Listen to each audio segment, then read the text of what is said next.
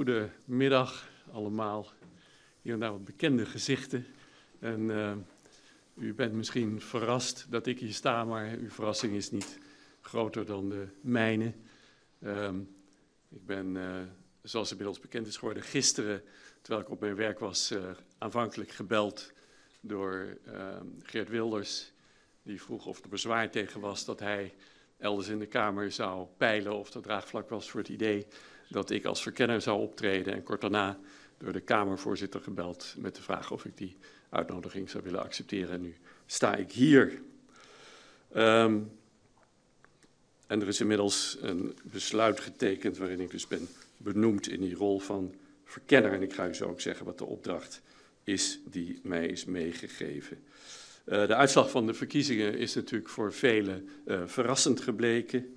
Uh, maar het volk heeft gesproken, of eigenlijk moet je zeggen, de kiezers hebben gesproken. Want niet iedereen in het volk heeft gesproken natuurlijk, als we heel precies zijn. Dus het is uh, tijd om aan de gang te gaan. Het land moet worden geregeerd en er zal in lijn met de verkiezingsuitslag dus een kabinet geformeerd moeten gaan worden. Um, en zoals u weet was het in het verre verleden zo dat dan alle fractievoorzitters naar het paleis gingen om aan de koning te vertellen wat hun plannen waren, waarna de koning een informateur benoemde. Maar dat proces is nu naar de Tweede Kamer toegehaald. Die dus, en vandaar dat we hier ook uh, nu uh, zitten als uh, eerste stap om in feite die, die fase van verkenning uit te gaan voeren. Dus aan mij is de taak om in de komende dagen samen met alle fractievoorzitters van de nieuw in de Kamer gekozen partijen die zoals u weet volgende week daar geïnstalleerd gaan worden, uh, te proberen het eerste stuk van die puzzel te leggen. Dus vanaf uh, morgenochtend start ik met de gesprekken met de leiders van alle politieke partijen. Althans, de leiders van alle politieke partijen zijn voor die gesprekken uitgenodigd. Um, en voor een deel worden de afspraken ook nog, terwijl we hier nu zijn, verder ingepland. Um, en dat gaat gebeuren in de volgorde van de grootte van de partijen zoals die uh, bij de verkiezingen tot stand is gekomen, de volgorde. Um, en dat gaat deze week allemaal gebeuren, die gesprekken.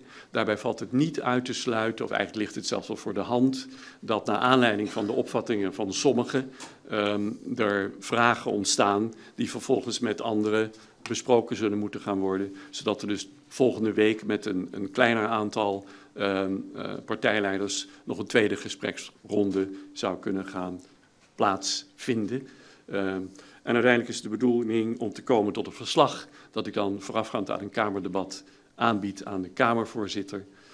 Waarbij het streven is dat we dat volgende week uh, gaan doen.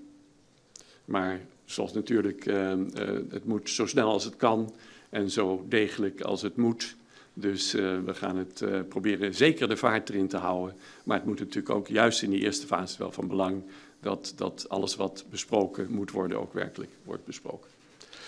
Dus uh, misschien nog goed om, om, voor zover u dat niet al heeft gezien, de taken van de verkenner.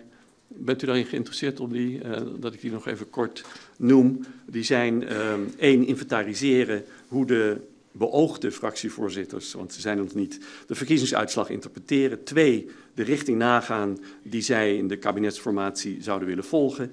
Drie, de mogelijkheden verkennen die ze zien voor politieke samenwerking in een te vormen kabinet. En vier, nagaan uit welke politieke groeperingen um, de informateurs zouden moeten komen, informateur of informateurs. En eventueel ook welke kandidaten daarvoor in aanmerking zouden kunnen komen.